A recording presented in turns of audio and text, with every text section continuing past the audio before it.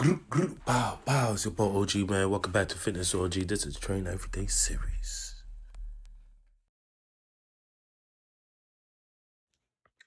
Yo, what's going on? What's going on? This is your boy OG, man. We back at it again, man. Yeah, this is the unveiling, man. We just got our weight gainer in the middle. I had to get it correct. I had to get it correct, man. I said it was coming. I told you I was coming, man. This right here. This right here. Serious Mass, man. Seriously. Gonna get some mask. Fucking with this shit. You know, I had to get the vanilla joint. I be fucking with the chocolate. I ain't going front. I be wilding on the chocolate at times.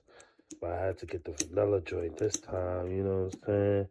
Usually I get the cookies and cream, you know what I'm saying?